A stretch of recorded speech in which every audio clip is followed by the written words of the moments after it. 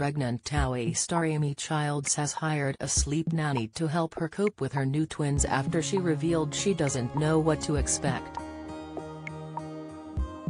The Essex girl, 32, is expecting twins with her partner Billy Delbosque, 39, in April and is pulling together an army of support ahead of their due date.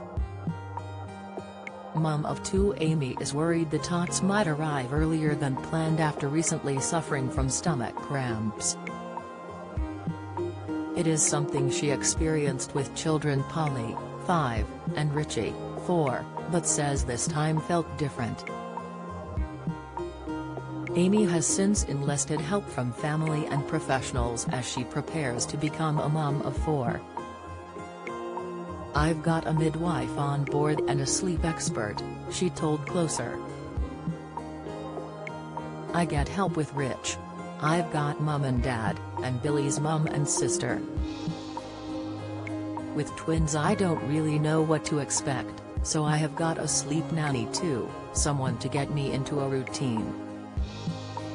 She'll stay with me for a couple nights and will be here for the days and into the evening. Amy added, We've got an amazing unit around us, Harry, Derbidge, Amy's cousin, only lives 8 minutes away, and Hess great. The TV star recently phoned the hospital at 3 a.m. after a health scare following the cramps.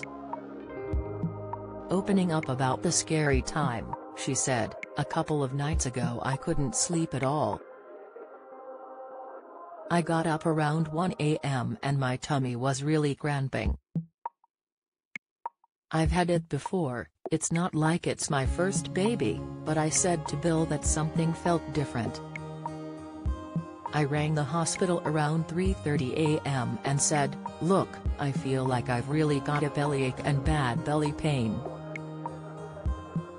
I told them that the babies were moving and really active, which was good, because what I didn't want to go to the hospital for them to check me, see that they were moving and tell me it's just Braxton Hicks.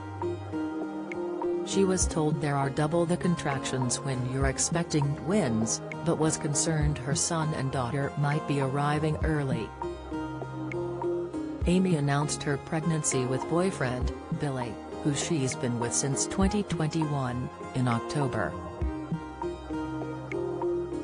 The couple recently enjoyed a stay at the lavish £600 a night Cave Hotel near Canterbury for their baby Moon before they become proud parents of twins.